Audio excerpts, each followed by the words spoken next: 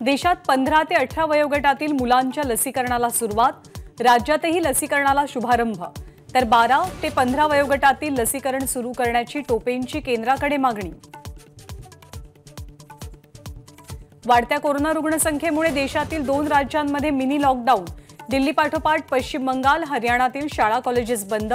महाराष्ट्रातही कठोर निर्बंधांचे संकेत. मुंबई बँकेवर पुन्हा एकदा प्रवीण दरेकरांचं वर्चस्व. सहकार पॅनलचे सर्व एकवीस उमेदवार विजयी शिवसेनेच्या दोन बंडखोरांना पराभवाचा धक्का.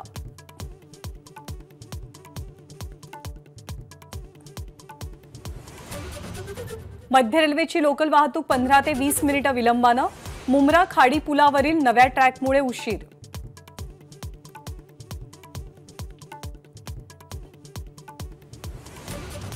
नवीन वर्षाच्या सुरुवातीला चीनच्या कुरापती गलवान खोऱ्यात चीनी झेंडा फडकवत भारताला डिवचण्याचा प्रयत्न.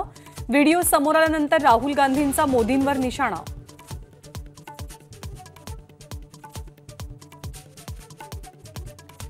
जोहान्सबर्गमध्ये आजपासून भारत दक्षिण आफ्रिकेदरम्यान दुसरी कसोटी. कसोटीसह मालिका खिशात घालण्याची टीम इंडियाला सुवर्ण संधी